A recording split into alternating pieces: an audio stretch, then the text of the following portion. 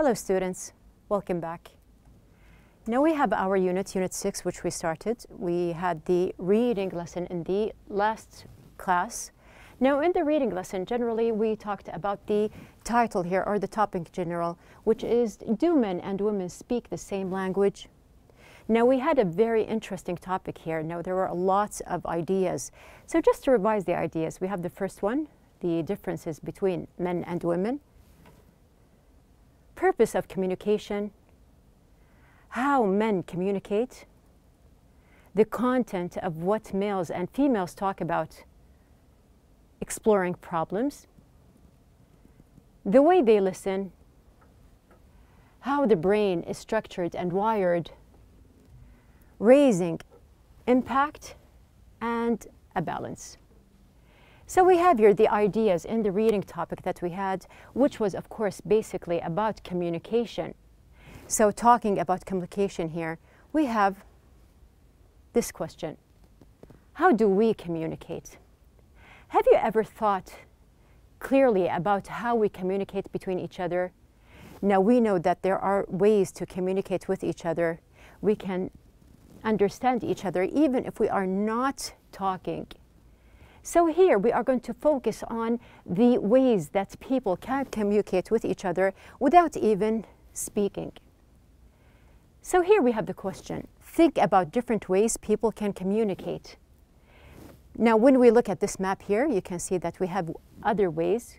Now we can say that we have formal and informal, oral and written, internal and external, verbal and nonverbal. So here you can see that we have many ways to communicate and we have lots of topics that we can talk about. To understand more, let's just watch this video. Now when you see this person, when we just observe his facial expressions and how he is talking, he is using his hands, can we listen to him? Can we understand what is he is saying? No but we can understand in general that he is serious, he is talking about something, and he is trying to explain something to someone else. In this other video, we have also this man here. Now we can see from the his facial expressions, of course, he looks very serious, and you can see that he is approving something. We understand that he is approving. He is using his facial uh, expressions. He is using other gestures like his hands. Also, he is nodding.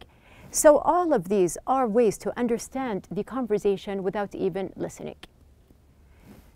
Now, do we mostly communicate through verbal or non-verbal language?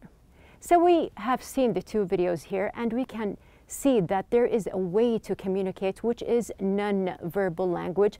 And of course, we have the verbal language that we use while we are speaking to other people or talking. Try communicating these without speaking. So we have in the book mentioned, can I have your pen please?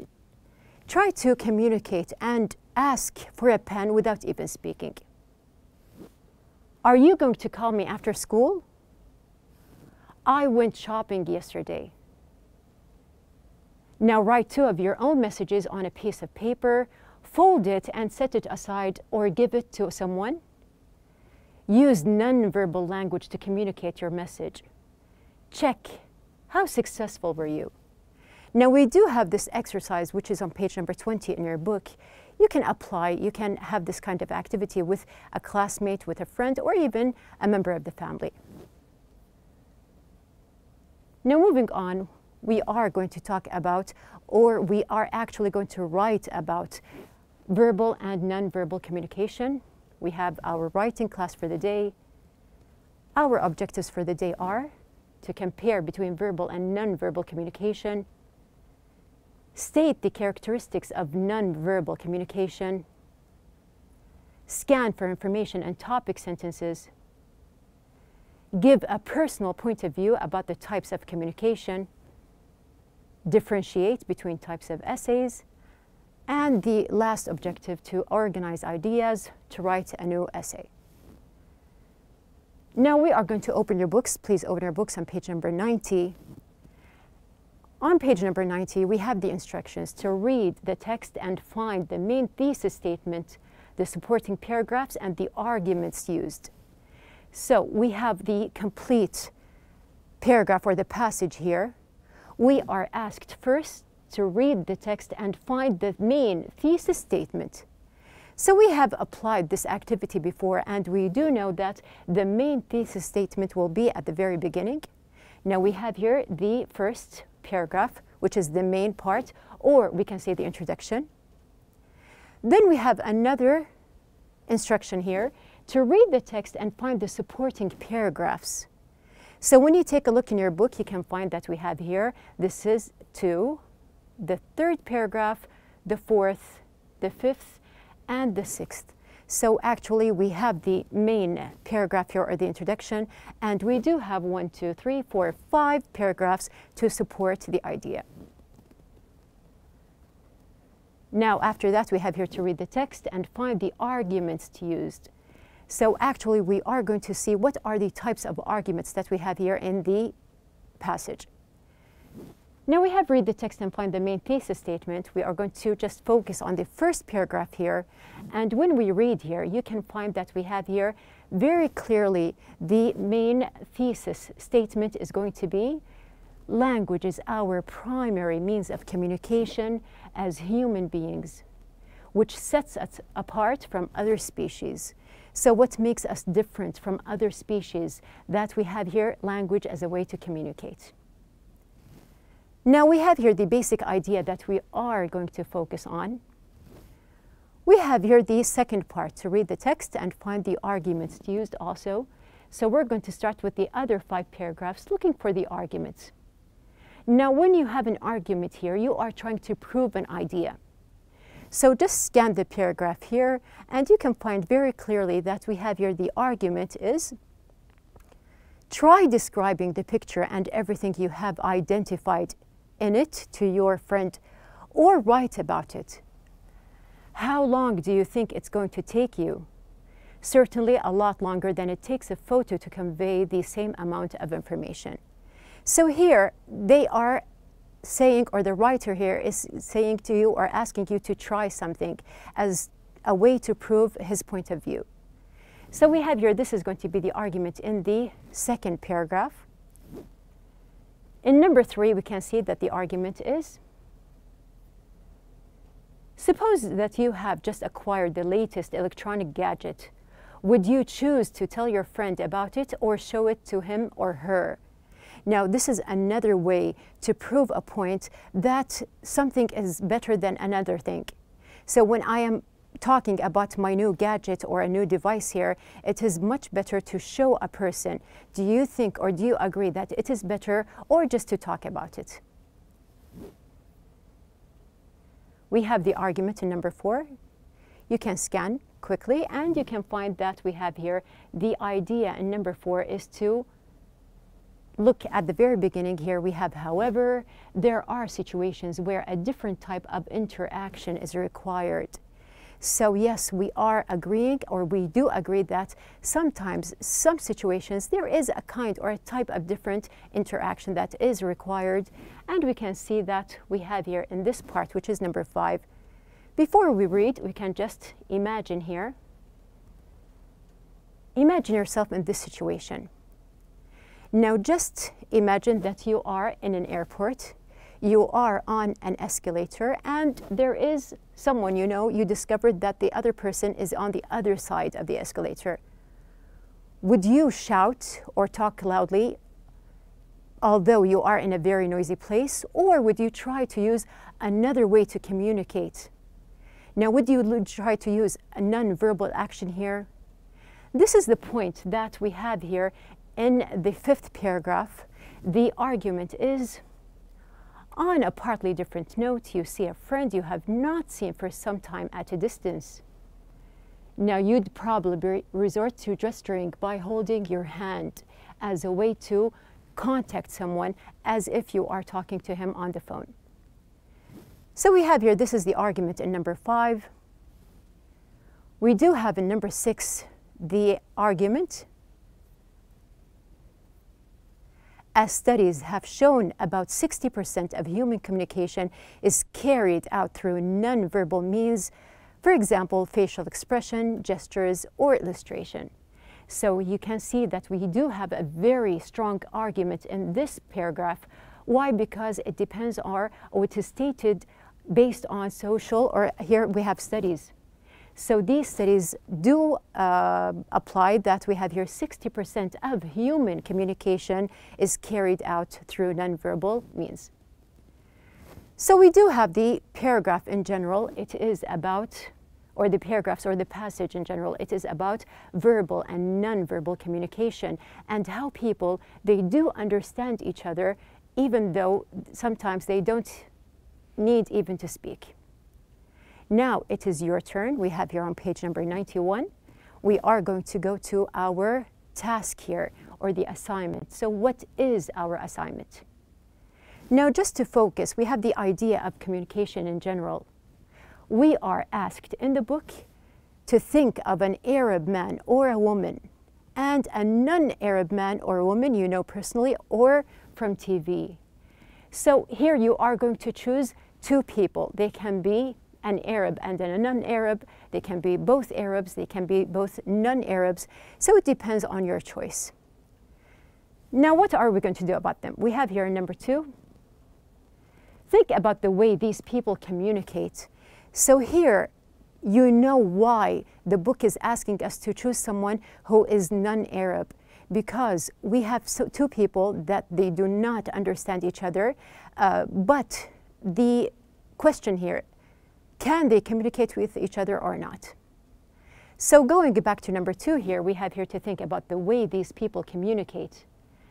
Research and collect information about culture-specific features of communication. Do you think they communicate in a way that is typical or is typical of their culture? Write your idea in a chart. So what are we going to do? We are going to think about, or you are going to think about two people, two figures. They can be well known, they can be, uh, or you can personally know them. You are going to compare between them and you are going to try to describe how do these two people communicate with each other. Now, for example, have you ever heard about student exchange programs or programs that team up schools from different countries? Students who are involved in such projects require online communication. So have you tried something like that? Now, some schools, they do contact other people or other students in another country, in another school. They can uh, be foreigners or nat uh, native speakers of English. And there is a way to communicate with these people. So you can communicate with a school in Europe, for example, or in America, or in any other part of the world. So once you have the idea that you are communicating with someone who is not the same culture, you will be able to write or describe what is the way to communicate with these people.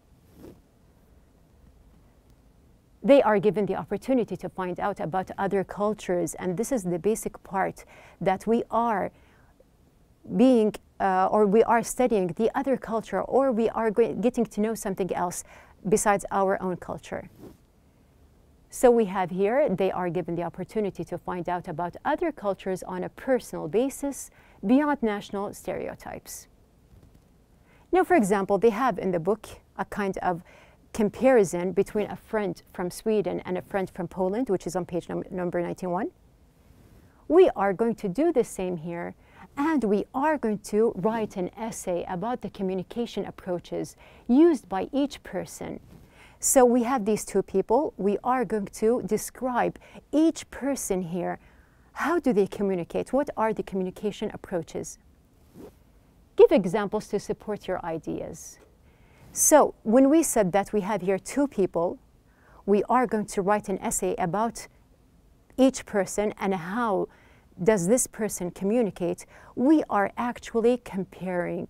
So we are going to write a comparative essay. Now, you do know that before we had the expository essay, and we also have written the persuasive essay in our previous units. So now we are going to concentrate on the comparative essay. So just to remind you here, you can see that we have here the expository essay. We said that it is explanatory, descriptive, and describing. We have the persuasive essay, which means that there is a personal argument. There are other points of views or different views that are considered, and we are going to start now with our third type of essay, which is the comparative essay. Now, in the comparative essay here, you are going to explain how two subjects are either similar or different. So we are going to concentrate and we are going to focus on the comparative essay form. So we are going to pass by the tips that we have as usual in each unit. We have our writing tips. Now when you write a comparative or a contrastive essay here, we have here to consider the different sides, sides of the issue, to develop a list of similarities and differences. So you are going to compare, but you do know, do have to just show the similarities and differences that we have here. And we have to establish the basis for comparison. Now you are going to mention the two people, and then you are going to start the comparison here. So the first part is to establish the comparison, to create a thesis for the relative importance now, this means to mention the similarities outweigh differences. Now, structure your essay using an alternate, alternating or a block structure. So we're going to just explain what does this point mean. Now, let's just start from the very beginning. We are going to choose two figures, as we have mentioned from the very beginning, that we are going to choose either an Arab and a non-Arab, they can be from two different cultures here. Now, once you have chosen these two people, you are going to concentrate on how these two people communicate with each other. But you do know that you have to establish at the very beginning the thesis that we have, and then you're going to start the comparison. So just to move on here, we have an example. Now, I have chosen these two young ladies. Now, I have Noor, who is non-Arab, she is from Europe. And also I have Sarah, who is also non-Arab, but she is from Asia.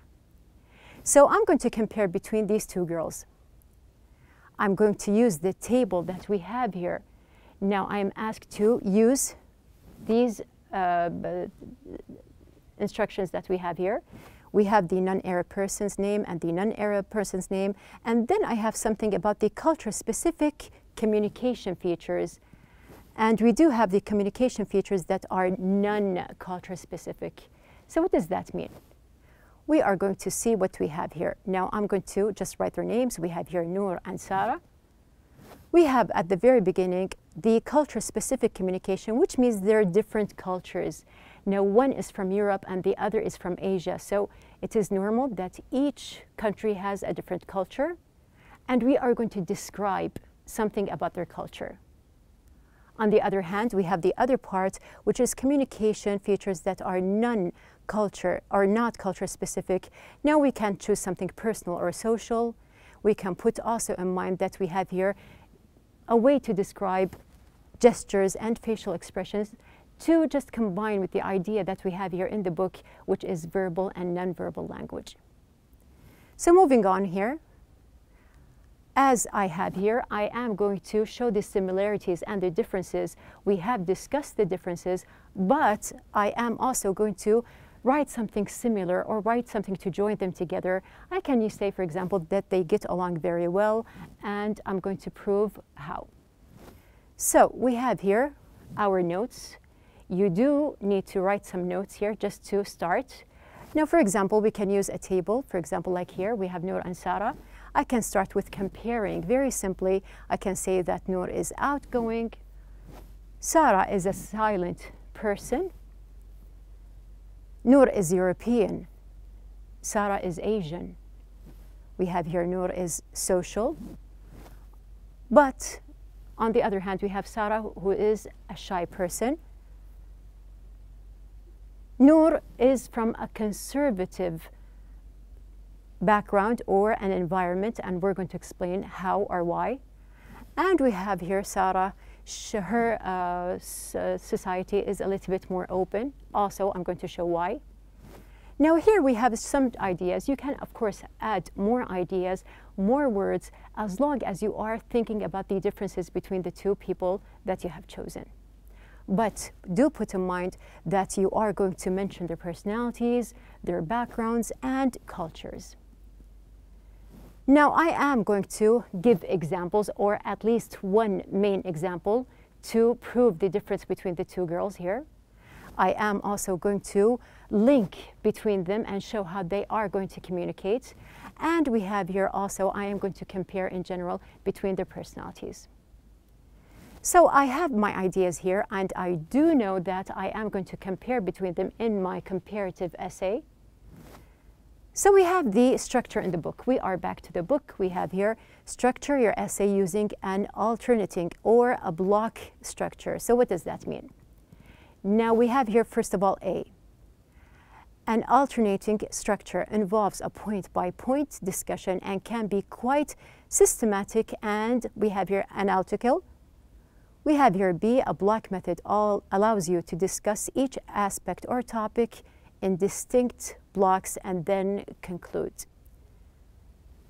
Here you can see that we have here a more clear idea about it. We have here the alternative structure requires focus on a feature you are talking about one specific feature, for example, greetings between men in the different cultures, followed by a focus on another feature such as gestures of approval and a comparison or a contrast in different cultures and so on. So in the first method, we are concentrating on one feature, but we do have the other method, which is the block method, would call for a discussion of all relevant features you are giving a main idea about a lot or many points together, many features in one culture, for example, followed by a discussion of the same features in the other culture. The final part would require students to compare, contrast, and conclude. Now here you can see that I have my points. I said that I'm going to compare between the two young ladies here, Sarah and Nada. I have my complete essay here. Now, from the very beginning, we have the introduction or the thesis paragraph. We have the main idea. Then you can see that I have two paragraphs, which are the body. And I have a very short paragraph at the end or a sentence that is going to be the conclusion or the closing paragraph that we have here. Now, just to focus, we are going to go back and we are going to see, did I use the methods that we have mentioned or not? Now we have here the first paragraph. This is my own paragraph or the own essay, but I have the first paragraph mentioned. Now, at the very beginning, I wrote, communication is an essential part of people's lives. Now here you can see that this is the thesis statement because I am giving you from the very start what is the whole essay about so I am talking about communication. Everyone communicates either by spoken language or non-verbal actions and symbols. We can actually communicate without even speaking the same language using non-verbal actions and gestures. This is a topic that reminds me of two colleagues I know very well. Now from this part, you know that I am starting to compare or mentioning at least the two people that I am going to compare. They are both non-Arabs. This is something that they have similar. Noor is European and Sarah is from Asia.